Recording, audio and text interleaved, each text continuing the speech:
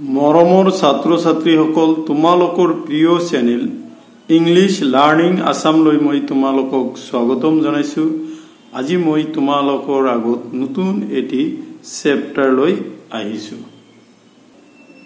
আজিৰ চেপ্টাৰটি লোৱা হৈছে স্বাধীনোত্তৰ ভাৰতৰ ৰাজনীতি খণ্ডটিৰ পৰা।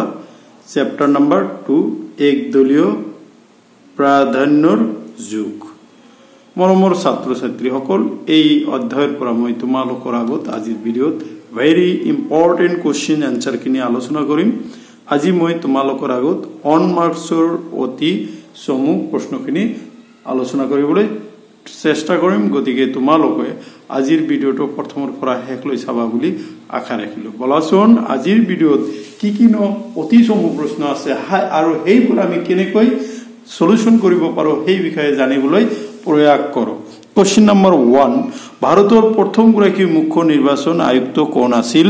দুই হাজাৰ বাইছ দুই হাজাৰ পোন্ধৰ চনত কুৱেশ্যনটো আহিছিল আনচাৰ হ'ব ভাৰতৰ প্ৰথমগৰাকী মুখ্য নিৰ্বাচনী আয়ুক্ত আছিল সুকুমাৰ সেন সুকুমাৰ সেনে আছিল ভাৰতৰ প্ৰথমগৰাকী মুখ্য নিৰ্বাচনী আয়ুক্ত।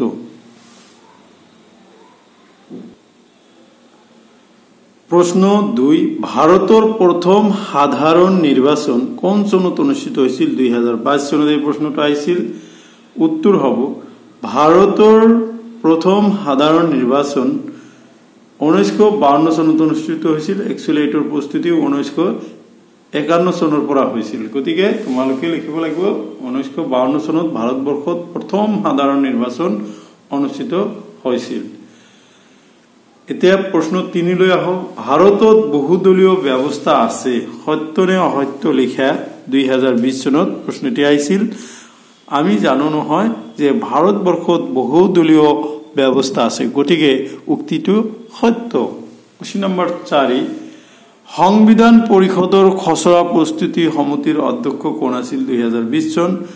সংবিধান পৰিষদৰ খচৰা প্ৰস্তুতি সমিতিৰ অধ্যক্ষ আছিল ডক্টৰ বাবা চাহেব ভীমৰাও ৰামজী আম্বেদকাৰ আমি চমুকৈ ইয়াক ডক্টৰ বি আৰ আম্বেদকাৰ বুলি লিখিব পাৰিব আৰু লিখিলেও সম্পূৰ্ণ নম্বৰ পাবা। যিহেতু তোমালোকে উচ্চতৰ মাধ্যমিক দ্বিতীয় বৰ্ষৰ ছাত্ৰ গতিকে তোমালোকে সম্পূৰ্ণ নামটো জনাটো নিতান্তই প্ৰয়োজন okay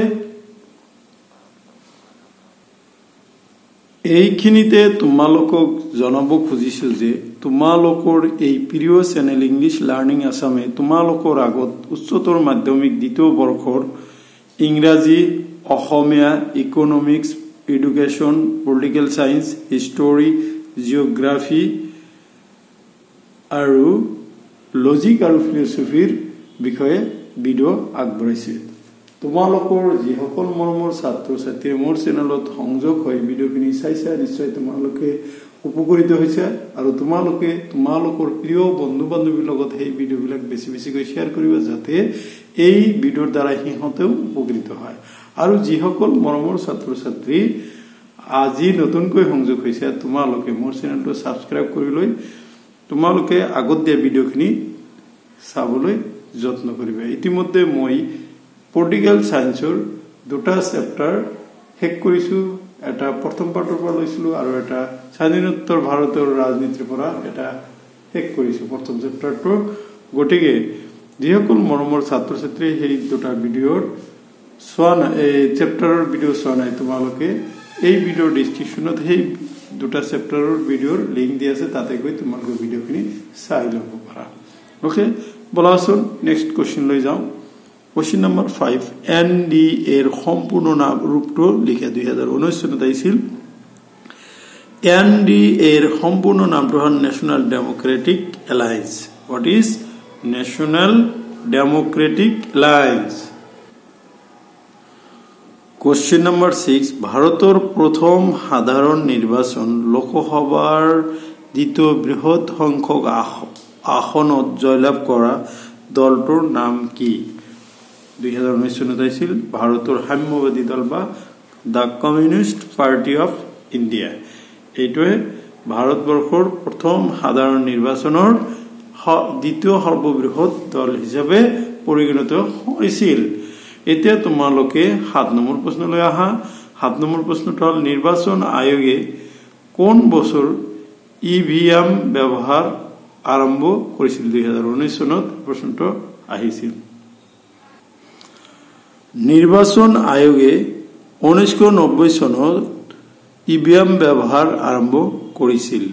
question eight E V এমৰ সম্পূৰ্ণ নাম লিখা।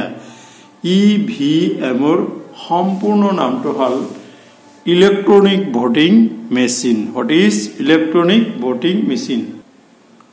ন নম্বৰ প্ৰশ্নলৈ অহা ঊনৈছশ সাতষষ্ঠি চনৰ চতুৰ্থ সাধাৰণ নিৰ্বাচনে ভাৰতৰ ৰাজনৈতিক আৰু নিৰ্বাচনী ইতিহাসক পৰিৱৰ্তন আনিছিল। সত্য নে অসত্য লিখা দুই হাজাৰ ওঠৰ চনত এই প্ৰশ্নটি আহিছিল।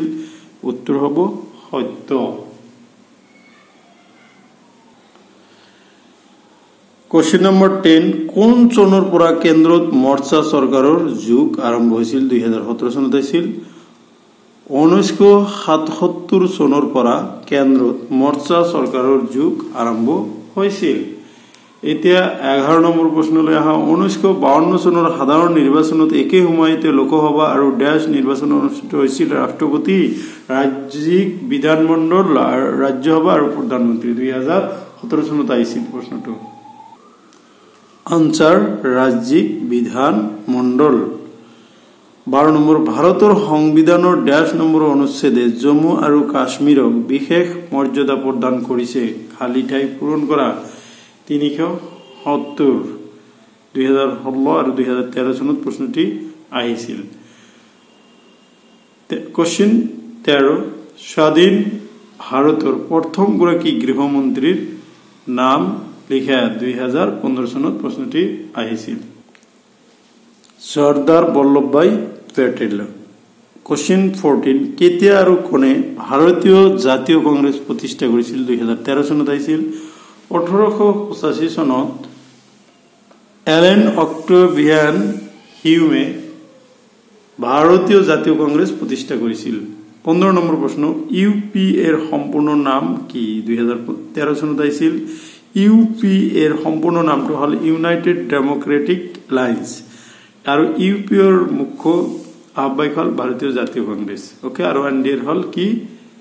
বিজেপি ভাৰতীয় ভাৰতীয় জাতীয় জনতা পাৰ্টি ভাৰতীয় জনতা পাৰ্টি হ'ল এন ডি এৰ মুখ্য কি? আহ্বায়ক। দেখাচোন নেক্সট কুৱেশ্যনটো কি আছে? কি আছিলে? ষোল্ল নম্বৰ প্ৰশ্নলৈ অহা ৰাষ্ট্ৰীয় গণতান্ত্ৰিক মৰ্চা বা এন ডি এৰ নেতৃত্ব কোনটো ৰাজনৈতিক দলে বহন কৰিছিল অলৰেডি মই কৈছিলোই দুই হাজাৰ বাৰ চনত প্ৰশ্নটি আছিল ভাৰতীয় জাতীয় জনতা পাৰ্টীয়ে। ভাৰতীয় জনতা পাৰ্টীয়ে কি কৰিছিল? এন ডি এৰ কি আছিল? নেতৃত্ব বহন কৰিছে। আমি ইয়াক শ্বৰ্টকাট বিজেপি বুলি কওঁ। বিজেপি এতিয়া বিজেপিৰ নেতা শ্ৰীযুত নৰেন্দ্ৰ মোদী, ভাৰতৰ বৰ্তমানৰ প্ৰধানমন্ত্ৰী আৰু অসমৰ মাননীয় মুখ্যমন্ত্ৰী ডক্টৰ হিমন্ত বিশ্ব শৰ্মাও বিজেপি বিজেপি দলৰ পৰা মুখ্যমন্ত্ৰী নিৰ্বাচিত হৈছে অ'কে এতিয়া সোতৰ নম্বৰ প্ৰশ্নলৈ অহা সোতৰ নম্বৰ প্ৰশ্নটিত কি কৈছে? ঊনৈছশ বাৱন্ন চনৰ সাধাৰণ নিৰ্বাচনত চৈধ্যটা ৰাষ্ট্ৰীয় দলে অংশগ্ৰহণ কৰিছিল। সত্যনে দুহেজাৰ তেৰ চনত আহিছিল। সত্য। ওঠৰ নম্বৰ প্ৰশ্নলৈ অহা আৰ এছ এছৰ সম্পূৰ্ণ ৰূপ কি? আৰ এছ এছৰ সম্পূৰ্ণ ৰূপ হ'ল ৰাষ্ট্ৰীয় স্বয়ং সেৱক সংঘ। সংঘ ৰাষ্ট্ৰীয় স্বয়ং সেৱক সংঘ হ'ল আৰ এছ এছৰ সম্পূৰ্ণ নাম। তো মৰমৰ ছাত্ৰ ছাত্ৰীসকল আজি মই আগবঢ়োৱা স্বাধীনোত্তৰ ভাৰতৰ ৰাজনীতিৰ দ্বিতীয় চেপ্টাৰটি তোমালোকে চাই কেনে পালা তোমালোকে মোক কমেণ্ট কৰি জনাবা আৰু ভিডিঅ'টো চাই যদি তোমালোকে ভাল পাইছা তেতিয়াহ'লে এটা লাইক দিবা আৰু ভিডিঅ'টি তোমালোকৰ প্ৰিয় বন্ধু বান্ধৱীৰ লগত বেছি বেছিকৈ শ্বেয়াৰ কৰিবা যাতে এই ভিডিঅ'ৰ দ্বাৰাও দ্বাৰা সিহঁতেও উপকৃত হয় এইখিনিতে তোমালোকক কৈ থৈ দিওঁ অহা ক্লাছত মই তোমালোকৰ আগত এই চেপ্টাৰৰে টু মাৰ্কছৰ চমু প্ৰশ্নৰ উত্তৰখিনি আলোচনা কৰিম। অহা ক্লাছটো চাবা বুলি আশা কৰি মই আজিৰ এই ভিডিঅ' ইয়াতে সমাপ্ত কৰিলোঁ। থেংক ইউ ফৰ ৱাচিং